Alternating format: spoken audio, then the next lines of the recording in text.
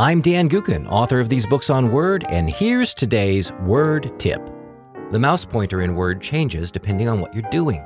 The variety is strange, but the pointer design lends itself to whatever activity you're undertaking. Then come the click and type mouse pointers. These guys appear as you move the mouse over a blank part of the page, and they can be mysterious. The click and type feature was introduced in Word 2002, and it refuses to go away. Does anyone use it? Well, probably not, but the weird cursors are curious as you hover the mouse over the word writing area. Here in this blank document, I'll try to show where the click and type cursors appear.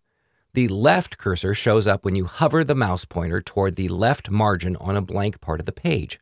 So click the mouse to start typing. Get it? Click and type at this location. Double click, type. Yeah, yeah, it should be called double click and type, but I'm not in charge of these things. The indent cursor lets you start an indented paragraph at some point down the page. Click, type and check out the automatic indent applied up here on the ruler. The Center Click and Type feature applies the center paragraph format. Somewhere down on the page, double click and type something that's centered.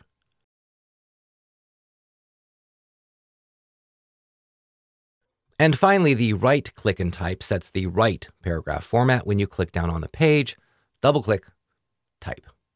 These tools do two things, which you can see when I reveal the codes.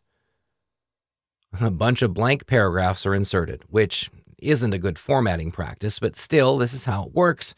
The second thing is, of course, to apply the proper paragraph style, left, center, and right, as well as indent. Enough already. How do I get rid of the thing? Glad to oblige. File tab, Options, in the Word Options dialog box, choose Advanced from the left side. Remove the checkmark by Enable Click and Type. OK. Yes, it's a weird feature, one I don't think anyone uses, but it lingers in Word. Fortunately, like many annoying things, you can disable it. Speaking of which, my Word for Dummies book has an entire chapter on disabling annoying things in Word. Check it out at any fine bookstore.